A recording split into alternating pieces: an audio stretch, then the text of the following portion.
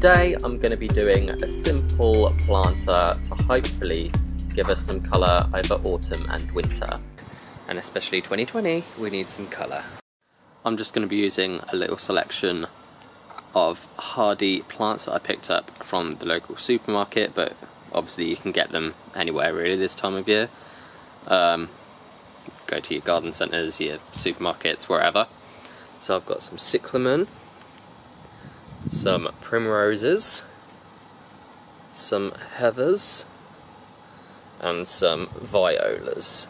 I made a few up the other day and they seem to be settling in alright because I had some cyclamen in a hanging basket so I just planted that here so we could actually see it.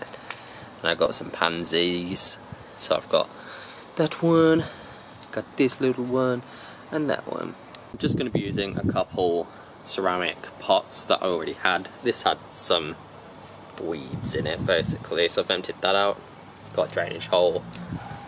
This had a courgette in, which is basically finished, so I've just taken that out, emptied the soil. As you can see, that's also got some drainage because it's going to be wet and cold and icy all winter, so there's going to have to be some drainage. Because soil's kind of hard to come by at the moment in my area, um, I've just got basically a mix of the soil that was in there because that was relatively relatively okay, and just some general all-purpose compost, and I've mixed that up just to give it a little bit of something for the plants in there, but they ain't going to need a lot. They're hardy and they're used to pretty harsh conditions. All of these plants originate from areas of northern Europe and places where it's they get cold temperatures over winter. Heather grows on alpine regions on the side of mountains and primroses, cyclamen and violas are all fully hardy also. They're used to areas where they're going to get a lot of frost and a lot of snow so they'll just keep doing their thing and hopefully they should flower over winter and give us some colour during the cold dark months. You can use plastic pots such as that one but ideally you're going to want ceramic because it's going to help protect from the frost a bit more. Uh, it absorbs some heat during the day which it can release to the plants. So now I'm just going to start planting. So in the bottom of this pot I'm just going to put some gravel, some stones just to help with the drainage because it's going to be cold and wet so. And now I'm going to start adding my compost mix which I just made with some old compost I already had mixed in with a bit of fresh just to give it some nutrients. Take out any roots you find that are sort of sticking out a lot. Thinking I'm going to have this area as the back so I'm going to go from taller plants to smaller toward the front so firstly I'm going to put in some heathers.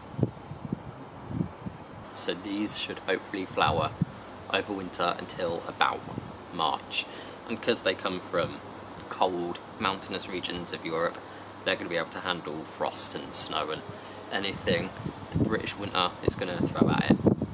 Loosen up the roots a little bit because it's pretty pot bound. Stroke it a little bit, loosen them up.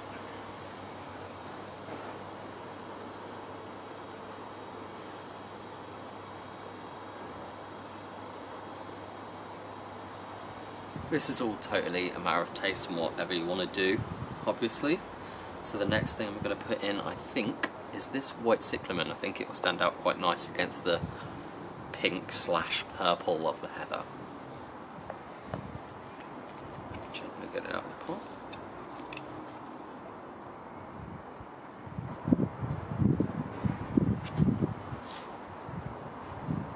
And then I'm just going to add some small violas to fill in this space.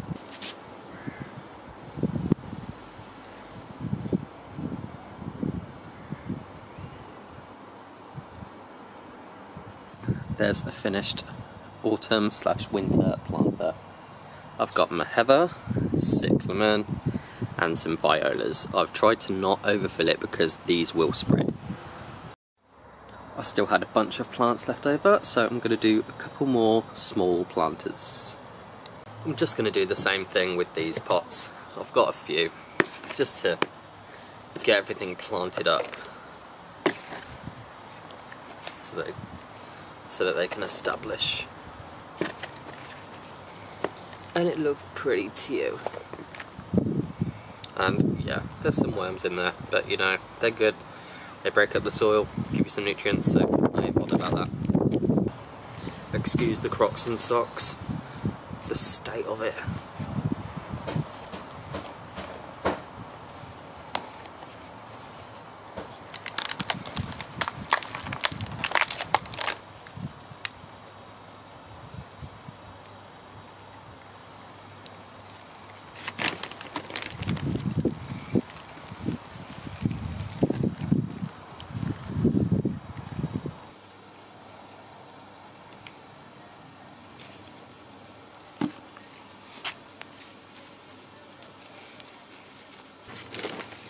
Because primroses are quite big, I'm just going to put it in on its own for now.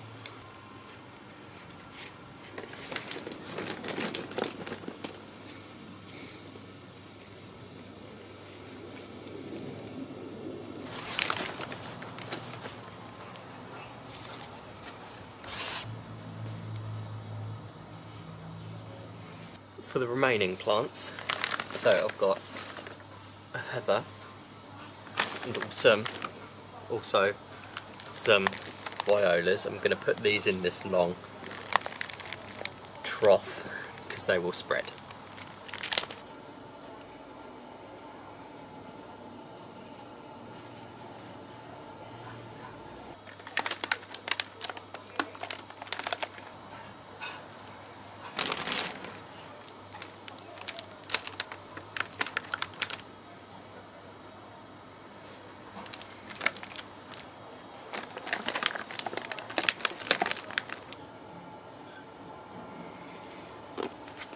And then we just need to water them in thoroughly.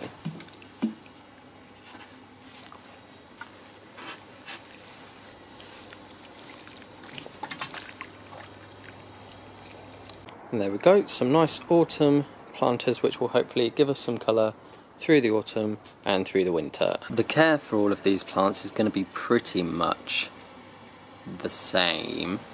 Uh, you just want to make sure that the soil's evenly moist or try to keep it evenly moist at all times but not soggy so that they're sat in swampy conditions. And because they're all hardy they should be fine but so they can um, withstand some frost and some freezing weathers. But if it's going to be ridiculously cold like arctic then you might want to cover them up or mulch them a little bit. But they should be hardy and good to go